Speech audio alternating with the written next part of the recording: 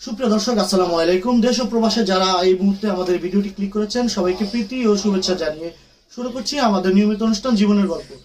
প্রিয় দর্শক আজ আমরা আছি বরগুনা আহ, শাপলার কাছে এবং শাপলার বাবা আছে।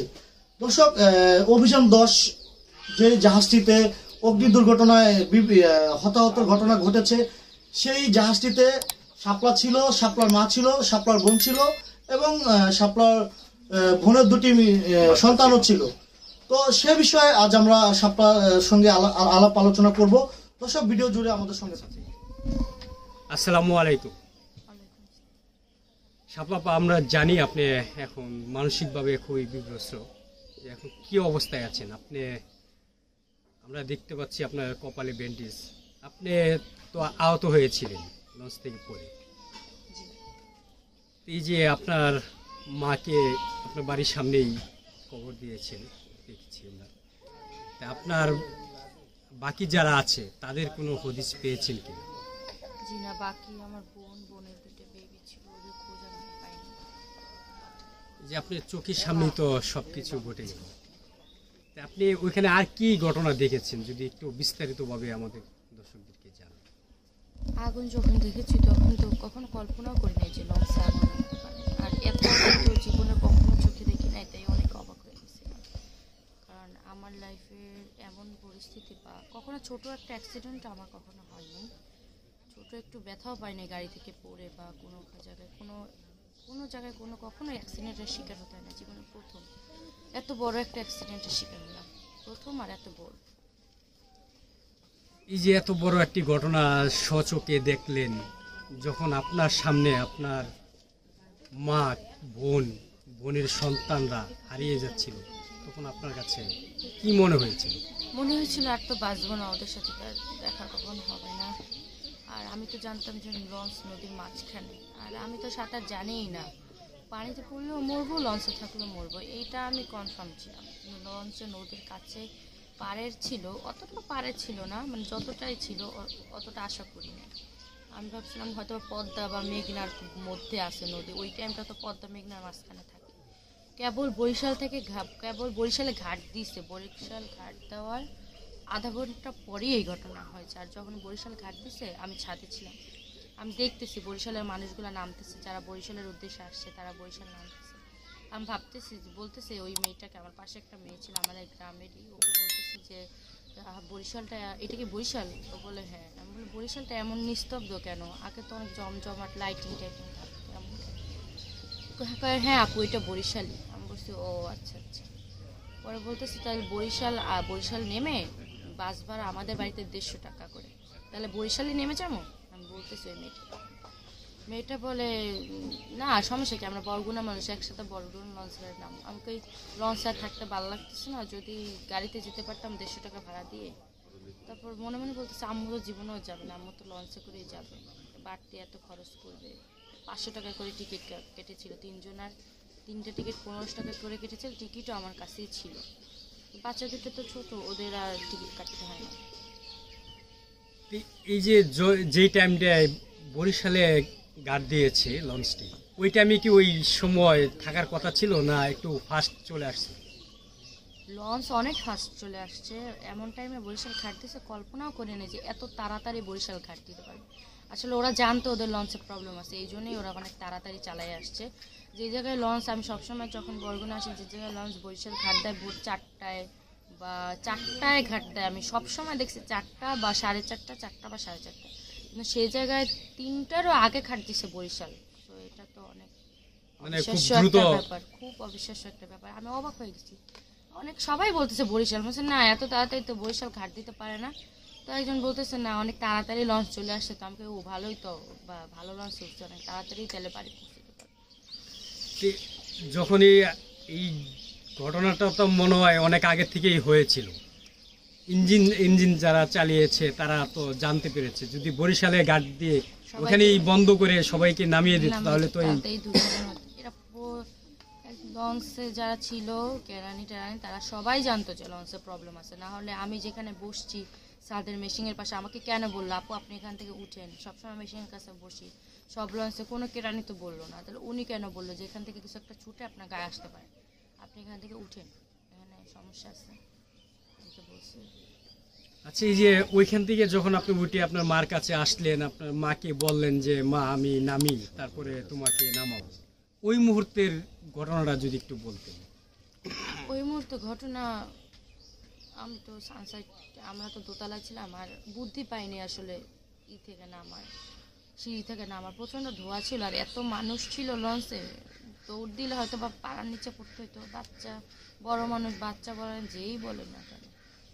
তো ওই মুহূর্তটা আসলে ভাষায় প্রকাশ করার মতন না, এমন একটা সিচুয়েশন আর আমি তো ভাবছি আমরা নদীর মাঝখানে পদ্মা মেঘনা সো আমি অনেক সাহস নিয়ে আসলে, আমি আগে ওই গিরিল থেকে আমি আগে এক পা দিছি। আমার মা বলে নাই যে তুই এক পা দে। আচ্ছা। আমার মা তো জানে যে আমি সাঁতার জানি। তো আমি আগে এক পা দিছি আর এক পা দিমু যে ওটা আর পারতেছি না। শ্বাস পাচ্ছি না। দিব যে। তখন আমার মা এসে আরেক পা আমার দেওয়াই দিছে হাত ধরে। নিজের হাত ধরে দেওয়াই দিছে। যে মা মেয়েকে হাত ধরে নামিয়ে দিল সেই মা আজ কবরে শুয়ে আছে। এই যে আপনার সামনে তো অনেক আহাজারি কিংবা অনেক চোখের সামনেই তো অনেক মানুষ হারিয়ে গেছে জি আমার চোখের সামনে আমি যখন নদীতে সাঁতার কাটছিলাম তখন সা- সাঁতার তো জানি না একজনকে ধরে আসছি তো তখন যখন নদীর দিকে তাকাচ্ছিলাম মানে আমি যখন ওই আঙ্কেলটার সাথে নদীতে যাচ্ছি ওই পারে যাওয়ার চেষ্টা করছি তখন আমি পিছনের দিকে তাকাচ্ছি বারবার। দেখতেছি ঝরে দর্শক কত মানুষের আহাজারি চোখের সামনে নিশ্চিত মৃত্যু জেনেও যে মেয়েটি লাভ দিয়েছে, আমরা ধন্যবাদ দেব। যে নিজের মৃত্যু নিশ্চিত ভেবেও এই মেয়েটিকে বাঁচিয়েছেন যে ভাই, একজন পঞ্চাশের ওপরে বয়স সে নিজে একজন পানিতে থাকলে আসলে একজনকে বাঁচানোটা খুব কষ্ট। তারপরেও সাহস করে যে বাইটি এই বোনটিকে বাঁচিয়েছে তাকে আমরা সেলুট জানাই। আচ্ছা বোন আমি একটি বিষয় আপনার জানতে চাইব। আপনার মা এবং আপনার বোনকে হারিয়েছেন। এখন আপনার পরিবারে আপনার যে যারা আছে তাদেরকে নিয়ে আপনি কি স্বপ্ন দেখছেন? ফ্যামিলি বলতে এখন তো আমার বাবা আছে একটা বোন আছে একটা ভাই আছে। পড়াশোনাটা কন্টিনিউ করতে চাচ্ছি। আর পরিবারে যারা আছে তাদের সাপোর্ট কীভাবে দিবেন আপনি? তাদেরও তো এখন মন ভাঙা। চেষ্টা করব সবাইকে সাপোর্ট দেওয়ার। আচ্ছা আরেক আরেকটি বিষয় হচ্ছে যখন আপনি পারে আসলেন পারে এসে তো আপনি দাঁড়িয়ে দাঁড়িয়ে দেখছেন লঞ্চ লঞ্চটা আগুন লেগে পুড়ে যাচ্ছে। এছাড়া তো আপনার আর করার কিছুই ছিল না। তো আপনার আমি পাড়ে এসে বলছি যারা পাড়ে দাঁড়াইছিল তাদের সবাইকে বলতেছি ধরে ধরে। আপনারা একটু বোট নিয়ে নামেন না একটু ট্রলার নিয়ে যান না আপনাদের কাছে তো ট্রলার আছে। নৌকা আছে আপনারা যান না একটা লোক বলতেছে এখন আমরা যদি একটা নৌকা নিয়ে যাই দেখা গেছে ওই নৌকাই সবাই লাভ দেবে তখন নৌকাটা এমনিই ডুবে যাবে। বলছে তাহলে আপনারা পাঁচ ছয়টা বা দশটা নৌকা নিয়ে যান তাড়াতাড়ি যান মানুষগুলোর উদ্ধার করেন। আমি সবাইকে বলছি একটা মানুষও চাই মানে আপনার ডাকে কেউ সাড়া দেয়নি? যারা আমার মতো উঠছে সবাই তো বলতেছে সবারই তো প্রয়োজন হইল অংশে পুরে ছাড় হয়ে যাচ্ছে। সবাই বলছে সবাই রিকোয়েস্ট করছে। আমি অনেকে পা ধরে জড়িয়েছিলাম যে একটু যান না। একটা টলা নিয়ে যান না বাচ্চা দুইটাকেও যদি বাঁচাতে পারেন একটু যান না। কেউ যায় না। কেউ যায়নি। কেউ না। তো আপনি আপনার বাড়িতে আপনার বাবাকে কখন জানিয়েছেন বিষয়টা? আপনার সঙ্গে তো তখন সেলফোন ছিল না। জি না আমার ফোন তো ইসেই ছিল লঞ্চেই ছিল। আর একটা বিষয় হচ্ছে যে আমি আমি নাম্বার ফোন নাম্বার মুখস্থ করতাম না কারোটাই আমার মায়ের নাম্বারটা শুধু আমার মনে ছিল। তো আরেকটা নাম্বার মনে ছিল সেটা আমার মা ইউজ করতো। তো ওইটা ভাবছি যে ওই নাম্বারটা আমার বাবার কাছে আছে ওই নাম্বারটা আমার উপস্থিত ছিল কিন্তু ওই নাম্বারটা ছিল আমার দুলা ভাইয়ের কাছে। তো তখন আমি ওই নাম্বারটাই কল দিয়েছিলাম তাও অনেক পরে। আপনি কলটা দিলেন কীভাবে? আপনার সঙ্গে তো ফোন ছিল না। ওখানে তো অনেক মানুষ ছিল যারা পারে ছিল যারা ওই আশেপাশে বাড়ি তাদের তারা বসে আপু তাড়াতাড়ি ফোন দাও তাদের ফোন থেকে ফোন দিয়েছি আচ্ছা আচ্ছা। ফোন দিয়ে যখন আপনি আপনার বাবাকে খবরটা জানিয়েছেন তখনকার অনুভূতিটা একটু যদি আমি বাবাকে বাবা ফোন ধরে না ধরেছে দুলাভাই। দুলাভাই ধরেছে। দুলাভাইকে বলেছি ভাইয়া লঞ্চে তো আগুন লাগছে। মা আসিয়া আবদুল্লাহ আমার বোন ওরা তো সবাই ওই লঞ্চে ওদেরকে কাউরে নামাইতে পারিনি। আমি কনফার্ম ছিলাম যে মা নাই। আমি কনফার্ম হান্ড্রেড পার্সেন্ট শিওর ছিলাম যে নাই। কারণ ওই আগুন থেকে নদীতে লাভ দেওয়ার সাহস আমার মা কখনো পাবে না এটা আমি কনফার্ম ছিলাম। বা ওরাও পাবে না। আমি তো পাবো নাই কিন্তু আমি কীভাবে পড়ছি আমি জানি না। আচ্ছা আপনি কনফার্ম ছিলেন আপনার মা বেঁচে ফিরবে না। আমি কনফার্ম আর বোনের বিষয়ে কি ছিলেন? বোনের বিষয়ে কনফার্ম বোন তো আরও ভয় অনেক ভীতু। একটু লঞ্চের সাথে লঞ্চে ধাক্কা লাগলে বা ঘাট দিলেই ও ভয় পায়। আর আগুন তো অনেক বড় একটা ব্যাপার ব্যাপার আর যে আগুন লাগছে তাকে তো আচ্ছা তো দুলাভাই যখন আপনার কাছ থেকে খবরটা পেল পাওয়ার পরে সে তার মানে উদ্যোগটা ছিল কি? সে বলতেছে তুই চিন্তা করিস না আমি তাড়াতাড়ি আসতেছি। আমাকে বুঝাইছে যে কান্নাকাটি করিস না আমি তাড়াতাড়ি আসতেছি। কিছু হবে না ওদের। সবাই বসে কিছু হবে না তারা আসবে। কিন্তু আমি তো জানি যে তাদের আসার আর কোনো স্কোপ আচ্ছা সেদিন আপনি সেখানে কয়টা পর্যন্ত ছিলেন? ওই বাড়িতে যে বাড়িতে উঠেছিলাম। না যে যে লঞ্চ যে আগুন লেগেছে সেখানে আপনি কয়টা পর্যন্ত ছিলেন? যেখানে আগুন লেগেছে যে স্থানে। যে স্থানে আপনি যে বাড়িতে বাড়ি- উঠছে ওই স্থানে ওর আশে পারি মানুষের। কাপড় চোপড় নিয়েছেন পারি বাড়িঘর ওখানে আমি সকাল বারোটা বারোটা একটা পর্যন্ত ছিলাম। দুপুর বারোটা একটা পর্যন্ত ছিলেন? মানে নদীর পরিবেশ বারবার গিয়ে দেখছি যে এখানেই তো আগুন লাগছে। এখানে তো আগুন লাগছে। আরেকটা বিষয় হচ্ছে বোন যখন আপনাকে আপনি নদীতে ঝাঁপ দিয়েছেন এমনিতেই আগুন এক এক হচ্ছে আগুন দ্বিতীয় হচ্ছে নদী তারপর হচ্ছে শীত। শীত। মানে সব বিষয় মিলে আপনার মানে অভিজ্ঞতার কথাটা যদি একটু শেয়ার করতেন। আমার তখন মনেই ছিল না যে আসলে শীত বা আমার মনেই হচ্ছিল না যে আমি পানিতে লাভ দিছি, শীত করতেছে। ওই সেন্সটা আসলে তখন মাথায় ছিল না। ইভেন আমি যে লঞ্চ থেকে যখন লাভ দিছি, সানসাইডে পড়ার উদ্দেশ্যে তখন যে বিশাল আকারে গ্রিলের সাথে একটা বাড়ি খেয়েছি মাথায় এরকম ফুলে গেছিল। কিন্তু আমার মাথায় ছিল না যে আমার মাথা ফুলে গেছে বা এখানে ব্যথা আছে। ওই খেয়ালটা তখন ছিল না, শীতের খেয়ালটাও ছিল না। সবাই বলতেছে, আপু, তাড়াতাড়ি কাপড় চেঞ্জ করেন। কান্নাকাটি করেন না, এখানে পারে বসে কান্নাকাটি করেন না। তো আমার ওই সেন্সটা ছিল না। আমার মনেই হচ্ছিল না যে আসলে শীত লাগছে। নদীর পানি তো অনেক ঠান্ডা ছিল।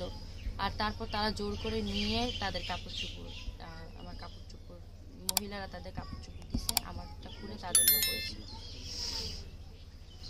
এই যে আপনার মাকে সর্বশেষ কীভাবে খুঁজে পেলে? সর্বশেষ অনেক লাশের ভিতরে তো আসলে লাশ খোঁজার ওই পরিস্থিতিতে ছিলাম না। আমার খালামণি আমার মায়ের বোন আপন বোন খালামণি উনি ঘটনাস্থলে অনেক অনেক জায়গায় যেখানে যেখানে লাশ উঠে রয়েছে ওখানে ওখানে গিয়েছিল। যাওয়ার পরে তার বোনকে সে চিনে খুঁজে ঠিকই বের করছে। আমার মার বডি কোনো জায়গা থেকে পুড়ে নাই শুধু হাতের থেকে একটু ছিলে গেছে আর গালে একটু ঠোস ঠোস পড়েছিল তার মানে আমরা ধরে নিব সে শ্বাসকষ্টেই আহ, শ্বাসকষ্টে মারা গিয়েছে না হলে সে নদীতে লাফ দিয়ে মারা গেছে। না হলে শ্বাসকষ্টে শ্বাসকষ্টে যদি মারা যেত তাহলে তো সে লঞ্চে থাকতো। তার কেউ তো তাকে নদীতে মৃত বডি তো কেউ নদীতে ফেলে দিবে না। নিশ্চয়ই সে নদীতে লাফ দিছিল। বাঁচার অনেক চেষ্টা করেছে। অনেক চেষ্টা করেছে। এই যে আপনি সকল লঞ্চ মালিক কিংবা এই যে লঞ্চে যারা আসে তাদের উদ্দেশ্যে যদি কিছু বলেন আপনার অভিজ্ঞতা থেকে।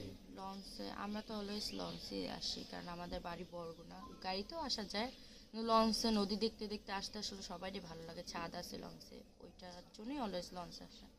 গাড়িতে বোরিং লাগে যার কারণে অলওয়েজ লঞ্চ আসে। আর লঞ্চে তো এমন দুর্ঘটনা তো অবিশ্বাস্য এটাই ফার্স্ট. দুর্ঘটনা। তো আমরা কেউ কখনো মনেই করি নাই যে লঞ্চে আসলে আগুন লাগতে পারে এত পানির ভিতরে। আর আমি ভাবছি যে আগুন লাগছে হয়তো বা নিভে যাবে।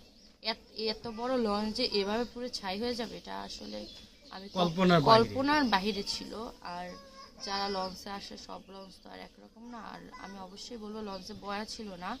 আর এমন অগ্নিকাণ্ড তারা জানতো এমন কিছু হতে পারে। জেনে শুনে তারা লঞ্চটা ছাড়ছে। জেনে শুনে। তাহলে ওই লোক আমার সাবধান করল কেন? আপনি এখান থেকে সরেন কিছু একটা ছুটি আপনার গায়ে আসতে পারে। ওনারা জেনে শুনে এরকম করছে। অবশ্যই তাদের বিচার ছিল তাদের বিচার চাচ্ছে। অবশ্যই। আচ্ছা এই যে আপনার ফ্যামিলিতে আপনার একটি ভাই আছে একটি বোন? আপনি তারা কি বড় না তারা বল আমি সবার ছোট সবার ছোট। দর্শক আপনারা শুনলেন শাপলার এই লঞ্চের করুণ কাহিনী। তার মাকে হারিয়েছে তার একটি বোনকে হারিয়েছে দুটি বোনকে হারিয়েছে একটি বোনের সন্তানকে হারিয়েছে। এই ফ্যামিলিটির পাশে যদি একদম অসহায় হয়ে গেছে যেই মা সংসার চালিয়ে চালাতো সেই মা আজ পৃথিবী ছেড়ে চলে গিয়েছে। বাবার চাকরি নেই দেখে গ্রামেই বসবাস করত। যদি একটু সহায়তার হাত বাড়িয়ে দেন, তাহলে হয়তো বা এই বোনটির লেখাপড়া কিংবা তাদের যে আর্থিক সমস্যাটা, হয়তো বা কিছুটা হলেও সমাধান হবে। আর সুষ্ঠু বিচারের মাধ্যমে যেন এরকম দুর্ঘটনায় আর কারও না পড়তে হয়। দর্শক, আজ এ পর্যন্তই। অন্য কোনো সময়, অন্য কোনো প্রতিবেদন নিয়ে আপনাদের সামনে হাজির হব। সে পর্যন্ত ভালো থাকুন সুস্থ থাকুন।